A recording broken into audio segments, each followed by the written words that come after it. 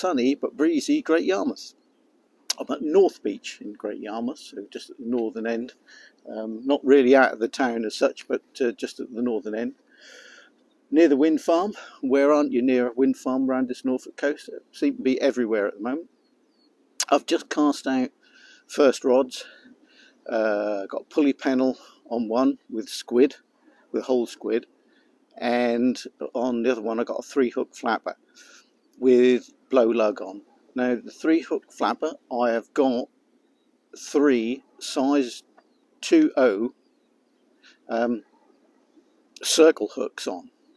Now I haven't uh, fished completely with circle hooks before. I've tried the odd snood with a circle hook on, but today I'm going to try all three, and I've gone up a bit of size because I would just like to see whether there's something a bit more than a than a, just an odd whiting or a dab or whatever. So a bass would be nice. There are one or two about. Um, so we'll see how we get on with those. They've just been in, well, about quarter an hour or so. So I'll give it a few more minutes and I'll go and get them in and uh, we'll see what the situation is, whether there's crabs about or, or whatever. But uh, not too bad so far. I got set up eventually. I really must put the kettle on because I haven't had a cup of tea today yet because I came out quite early in the morning. Um, it's about three hours, I think, till about, no, two hours maybe to the high tide. Um, taking a bit of a guess. I don't really want to have to move, so I'm probably too far up the beach, but uh, we'll see how we go on. So anyway, let's get the kettle on and make this cup of tea, and then I'll get when the tea's made, I'll uh, get the rods in, and we'll see what the state of play is.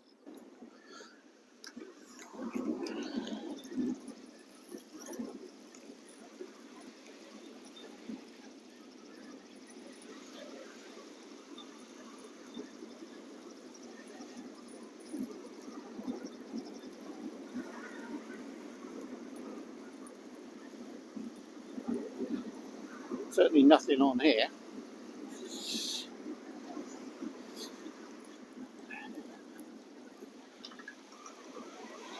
Let's say that.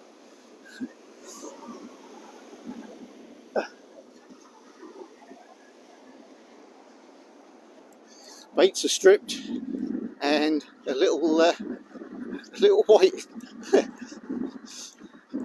and it is lip hooked.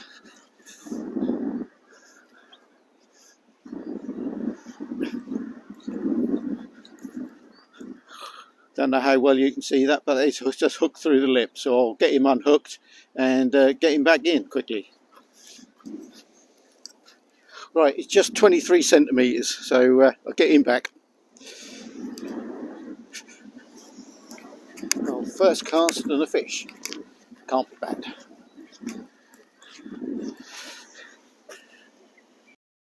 Blow lug from uh, Gorleston Tackle. Seems some good big ones in there a few smaller ones, but uh, I don't think that really matter. But uh, there's some really good ones there, so hopefully we'll catch some really good fish with them.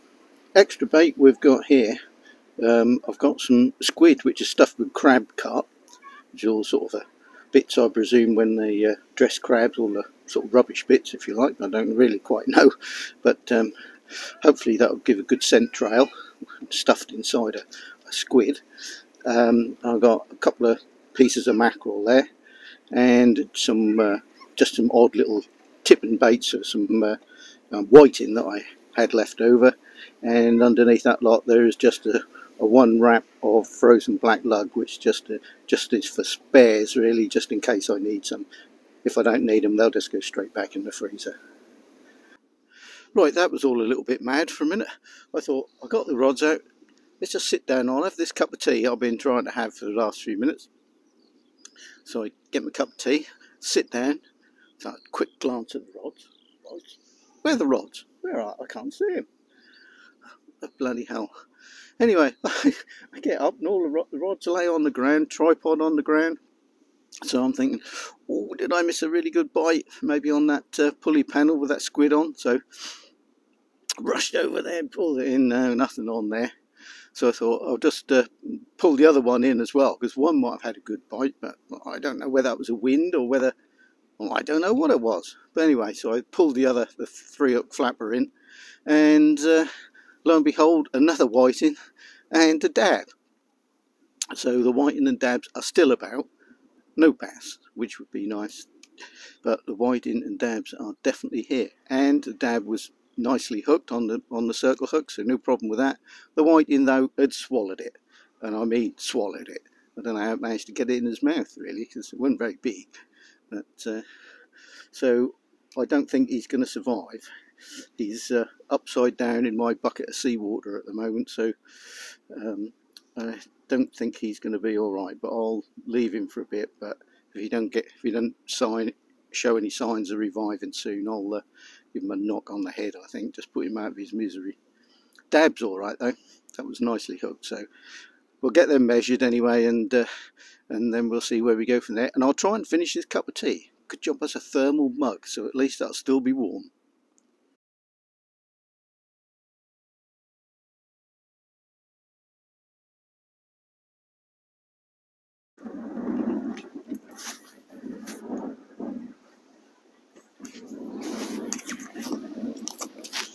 Right, I think there might be something on this rod with the flap again.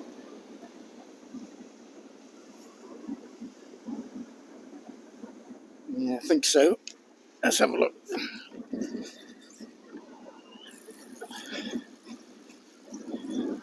It feels like there's something on there. Probably another whiting, I suspect. Certainly not a 50 centimetre bass. Uh, no, two little dabs. Two little dabs about the size of my my hand, if not smaller. They'll fit in the palm of my hand.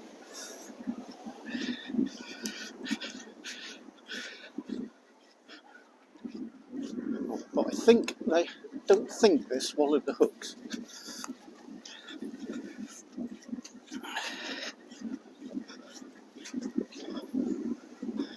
So there we are. I can keep them in the shot. One up there and one down here.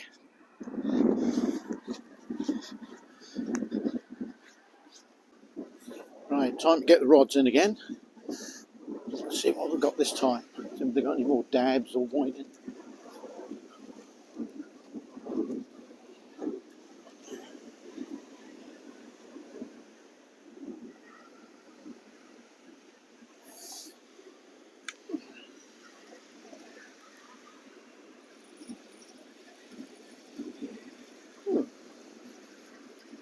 Thought there was something on here, but I'm not quite so certain now.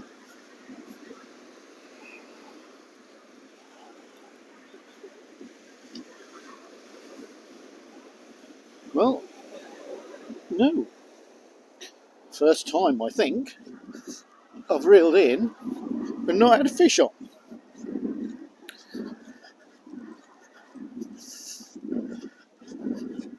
Mind you, I did cast that only about 20 yards out, so just to see what was a, whether there was anything really close in, but it seemed probably not. So it's going to be a case of casting it out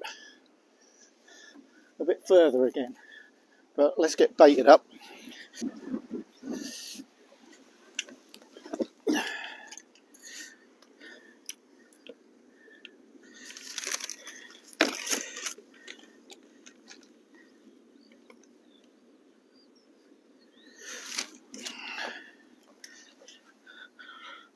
Let's try not to get lugworm juice all over my trousers. No, they're stinky enough as they are now. I'm going to have to put them in the wash, I think.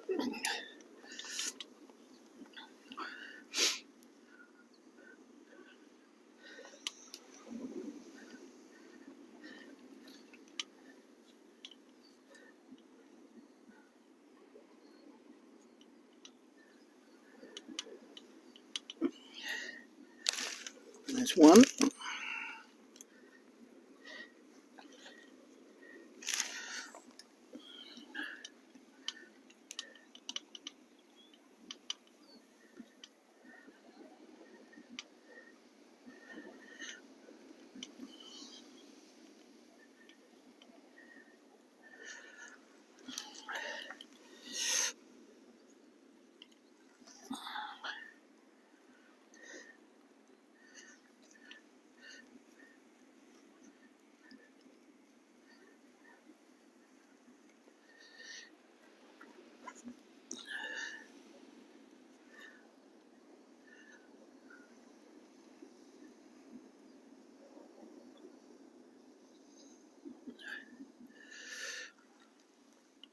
two. Cool. Monster, this one. This deserves to catch big fish, this one. We'll probably get a dab that somehow managed to get this in its gob.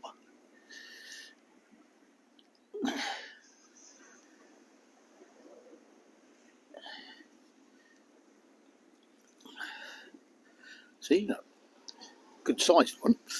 There, dribbling everywhere. Where's the other hook? Here it is.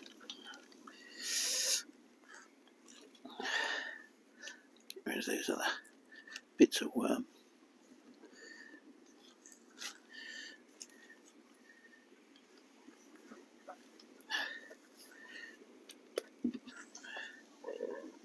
Right, I say, this deserves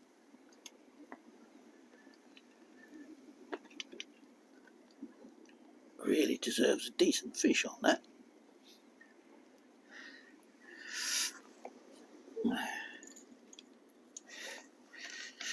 Right, wipe my hands.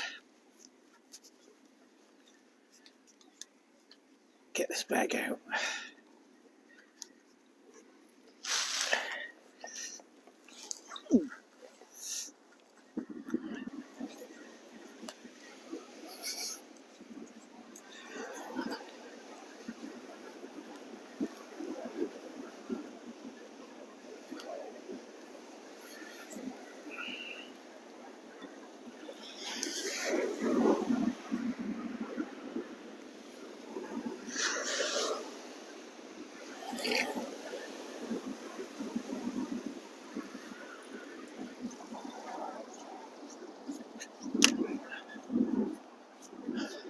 Right, let's see what we get this time.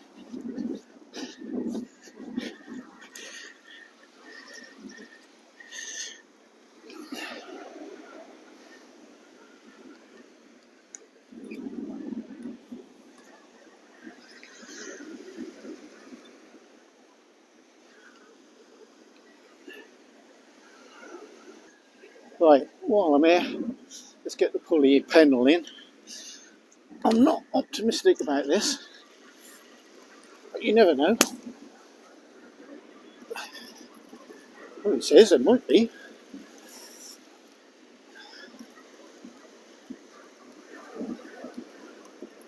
Well, I don't know, there might be something on here.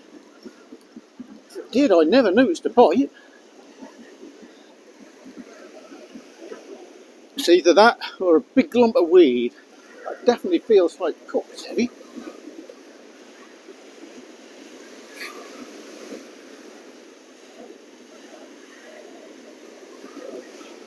Cool. Definitely something.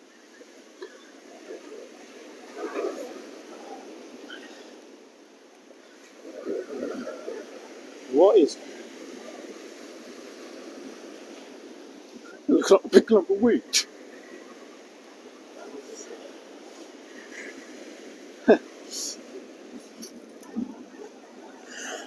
It was a big lump of weed,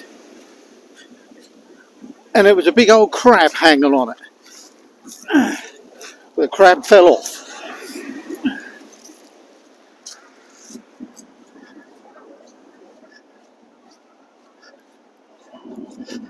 So got a bit excited there. Crab was a decent size, I would have kept it, I think. That fell off. And I wasn't going to risk getting my feet wet just to go and get it. Right, was the lump of weed. I can't show you the crab because it thinking well fell off. It was a big old crab too. That fell off in the surf and I just couldn't oh, I wasn't gonna risk diving about in the surf trying to get out a crab and no doubt it would have grabbed my finger or something and the size of that crab you would not want it to get hold of your finger because you would know all about it if you did.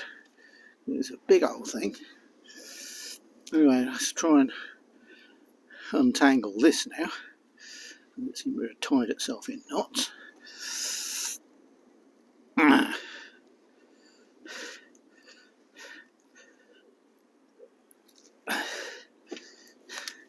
Oh, come out.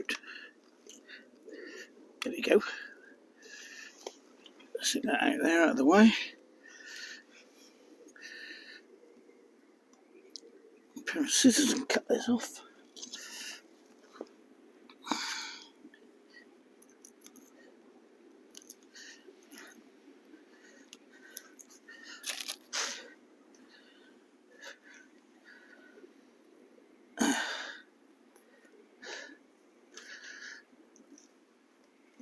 Oh, come off. That is the trouble with bait elastic. I don't always want to come off very well. If you're not careful, you end up cutting your line and cutting your hook off, and then you have to play around and put more line or something on anyway. New hook or something. Right, put that in the rubbish. I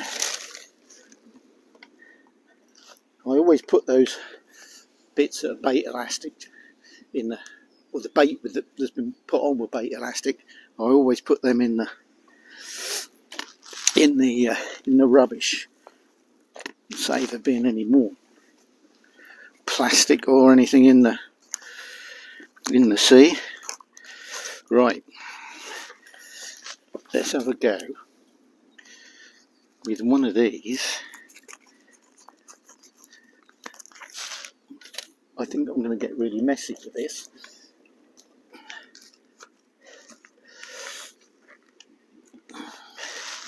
As you can see.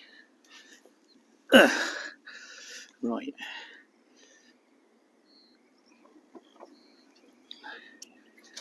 It's full of juices. So really, it should be very attractive.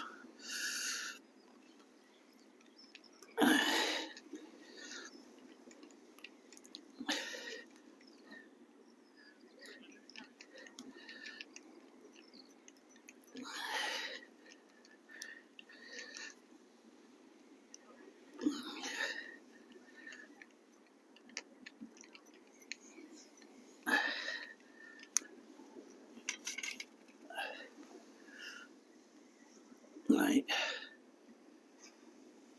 Put that through there. That tight. And they do say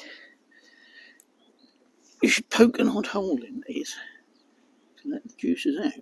So a couple of holes in it.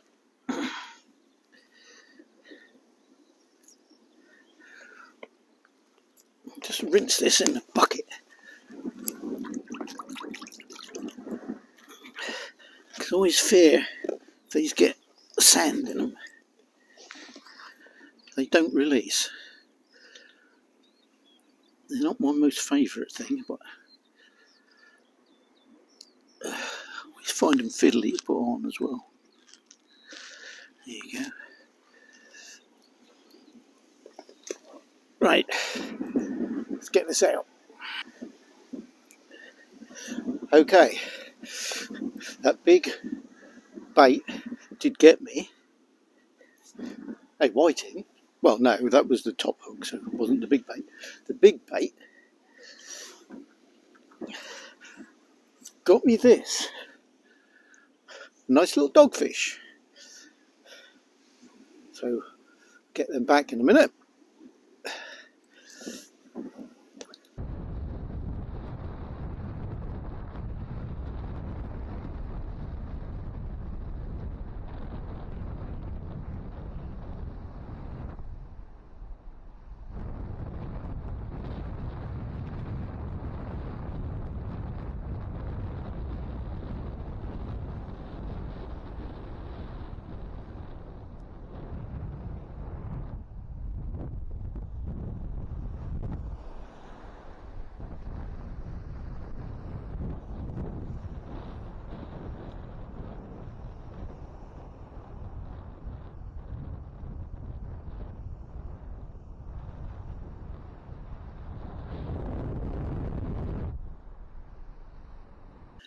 Right, okay, just had just had dinner, had my sandwiches.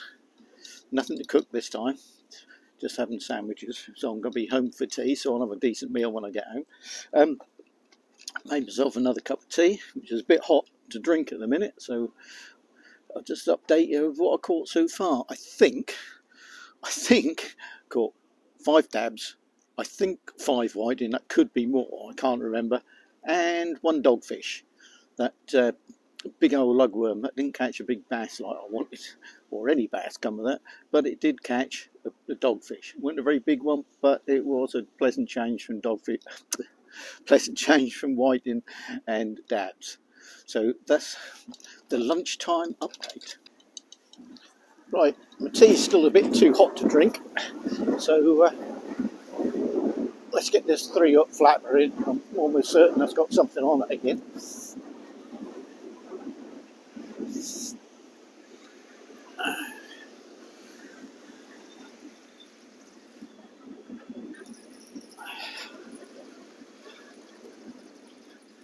Mm, Yeah, if it I think not very much on it. Mm, If anything at all, actually. That started off feeling as if there was, but don't know. Oh, yes, there is. They are one whiting, one dab. Both little low things. Right, some definitely something on this flapper.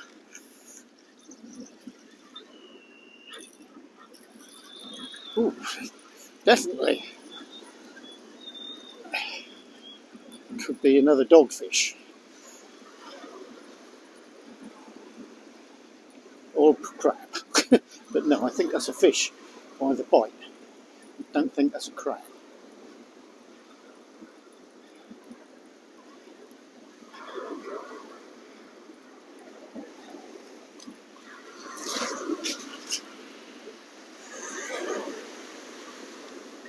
It is another dogfish. There you go, a little dab and another doggy on the beach. There he is. A bit bigger than the last one, but nice to catch. Can't, don't know if he'll fit on my measure. Get a rough idea how big he is. Ooh, about 46, 47 centimetres. Put him back.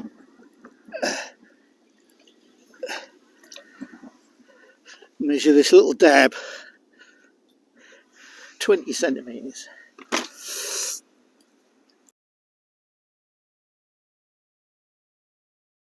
Right, that's the second dogfish today. So let's bait up. Yeah, finish my tea. Let's bait up and uh, get out there again. Maybe get another one.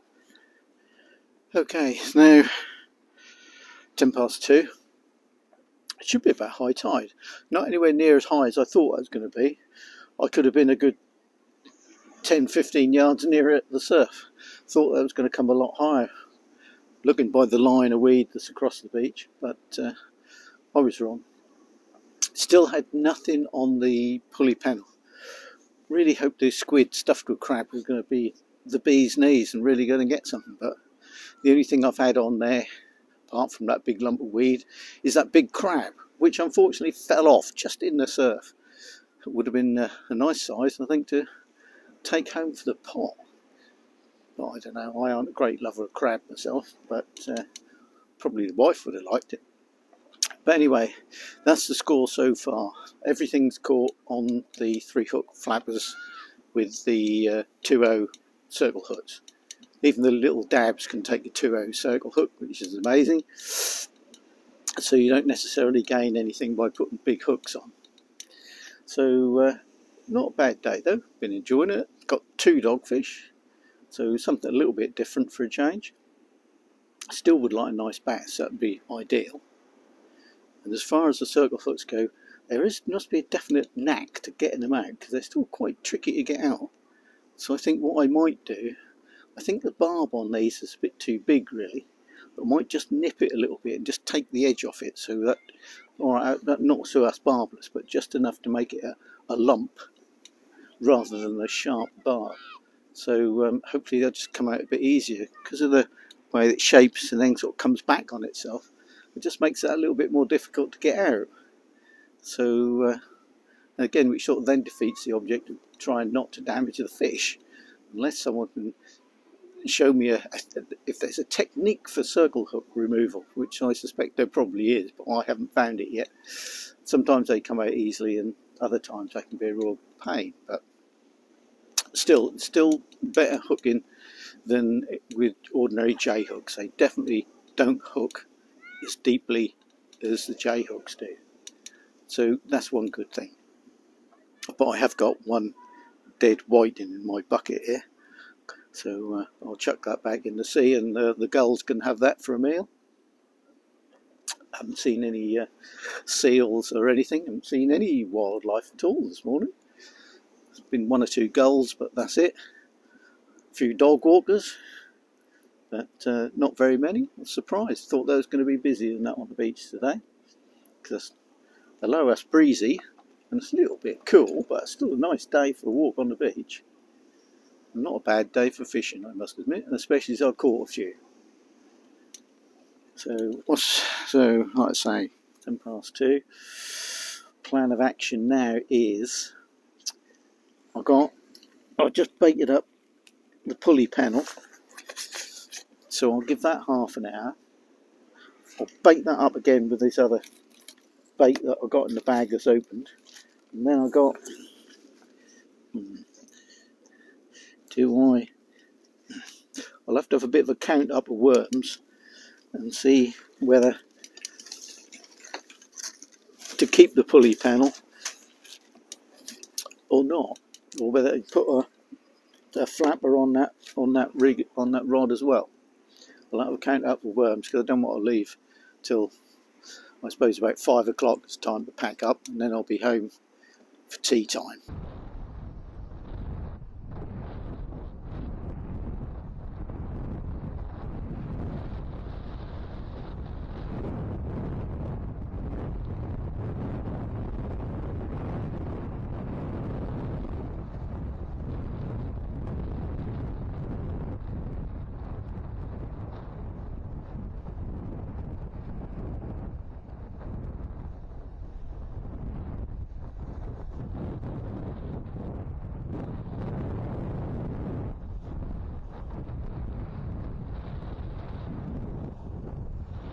Right, just gone three o'clock. It's gone absolutely dead. From being fish almost every cast, now nothing at all. Just come back bait stripped, well, more or less stripped. So just to think it's just crabs. So nothing at all on the pennel. So I've given up on that. So put just a two hook flapper on there with I should think they're size 20 J hooks on this one Aberdeen's. Um, just with some more of the blow lug and uh, still persevering with the three hook flapper with the 2.0 circle hooks on. But like I say, it's just gone completely dead. As soon as it seemed to reach high tide, boom, nothing, nothing since then. But we'll see whether it's just that it is on that turn point where it's just neither coming in nor going out. I don't know. Think the wind direction has changed a bit, so it's coming a bit more more easterly at the moment because it looks as if the wind turbines are turned round a bit. But uh, I think it's time to put the kettle on again, have my last cup of tea, and uh, we'll just fish through the rest of the afternoon with those few uh, blow lug. And uh, like I say earlier on, I have got a packet of 10 frozen uh, black lug there so if need be I'll use them as well.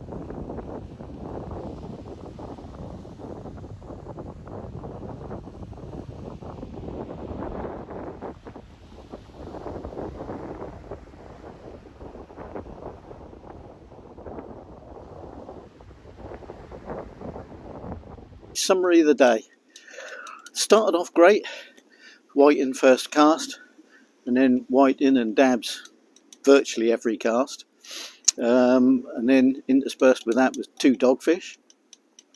And then once it reached high tide, boom, that was it. Nothing. So I've had nothing for the past, I should think almost two hours. Just clean hooks every time, so I think crabs are just picking the picking the worms off. So I've used all the worms up. Decided that doesn't seem worth it. I've got some of these frozen black lug, but I'm going to leave them. I, I don't see the point in wasting them because it doesn't seem as if there's going to be anything about now. So uh, I think I'm just going to get those in in a couple of minutes and uh, pack up and then get home. If you've watched this all the way through and enjoyed it, please subscribe to the channel.